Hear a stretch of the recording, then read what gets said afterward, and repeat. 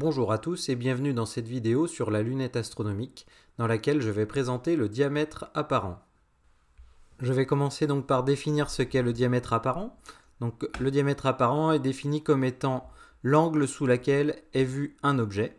Je vais prendre donc euh, deux exemples pour illustrer cela. Je vais commencer donc par exemple un immeuble et une personne qui regarde cet immeuble à une certaine distance. Donc l'angle, le diamètre apparent de l'immeuble ici par rapport à la personne sera donc l'angle alpha représenté ici, donc qui est défini par les deux euh, droites ici qui, permet, qui euh, euh, définissent les extrémités de l'immeuble. Pour pouvoir déterminer cet angle alpha, je vais avoir besoin de plusieurs distances. Tout d'abord la hauteur donc, de mon immeuble ici qui fait 20 mètres, la distance à laquelle se trouve la personne qui est de 25 mètres, et je vais également avoir besoin de la hauteur de la personne. On va supposer que donc, euh, les yeux se trouvent à une hauteur de 1,8 m. Pour pouvoir déterminer donc l'angle alpha, j'ai deux triangles rectangles ici, un premier grand et un petit. Je vais donc décomposer alpha en deux angles. Tout d'abord l'angle bêta ici, qui est l'angle gamma.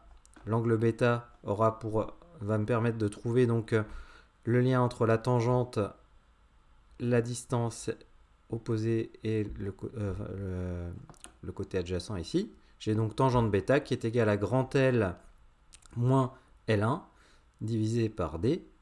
Et je vais donc pouvoir en déduire bêta qui sera arctangente de grand L moins L1 sur D.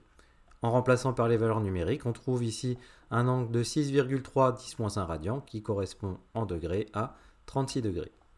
Je vais maintenant calculer gamma en faisant le même raisonnement. Cette fois, j'ai la, la longueur L1 ici et j'ai toujours D ici. Donc tangente gamma est égale à L1 sur D. On en déduit donc que gamma est égal à arctangente de L1 sur D. Donc ça me donne un angle de 7,2 2 radians, ce qui me fait 4,1 degrés. À partir donc de bêta et gamma, je vais donc pouvoir calculer alpha. Alpha égale 36 plus 4,1, ce qui fait 40 degrés ici. Donc mon diamètre apparent correspond de l'immeuble pour la personne sera de 40 degrés. Deuxième exemple, avec un cas plus classique, où en fait on va souvent se trouver à, déterminer donc le diamètre apparent d'objets qui sont très éloignés, comme par exemple la Lune, qu'on va regarder. Donc euh, vue de terre, j'ai juste représenté l'œil d'une personne.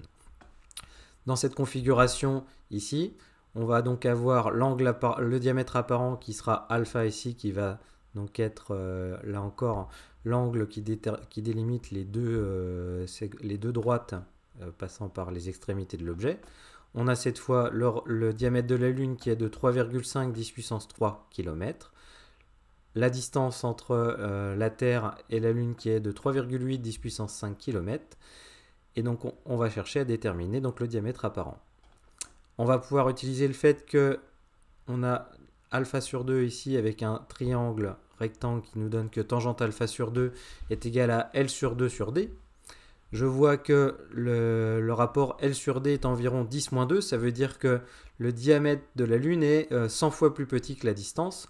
On va donc pouvoir ici considérer que L est très inférieur à D et utiliser donc l'approximation des petits angles. Cette approximation me dit que tangente alpha sur 2 sera environ alpha sur 2 et donc je réutilise la relation alpha sur 2 est égal à L sur 2 sur D et on en déduit ici que on a alpha qui est égal à L sur D. Si je remplace par les valeurs numériques, alpha sera égal à 3,5 10 puissance 3 sur 3,8 10 puissance 5.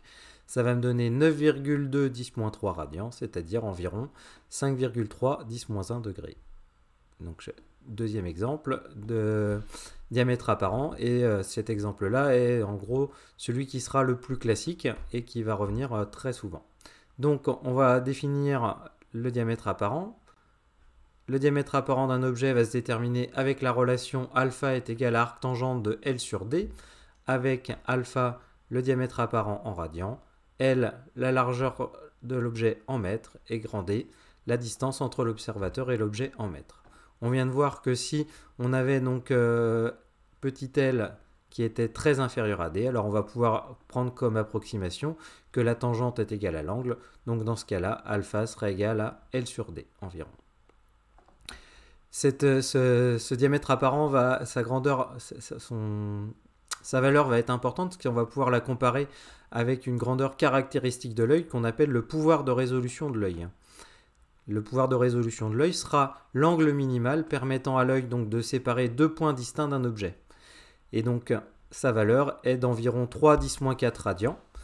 Et si, ce qui nous fait en, degrés 2 10 2 degrés, cela signifie ici que si on a donc un diamètre apparent pour un objet qui est inférieur à alpha r, on n'arrivera pas à distinguer les détails de cet objet. Donc pour, pour, pour l'œil humain, cet objet sera donc ponctuel. On verra juste un point lumineux dans le ciel ou dans l'endroit où il se trouve. Si alpha par contre est supérieur à alpha r, ça veut dire qu'on va cette fois pouvoir distinguer des détails sur cet objet.